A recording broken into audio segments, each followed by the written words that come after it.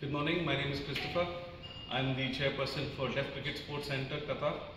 I'm here at AC, ICC for the AGM of the ICC and uh, we would like to support all these deaf cricketers all over the world to come forward and play cricket in the highest level.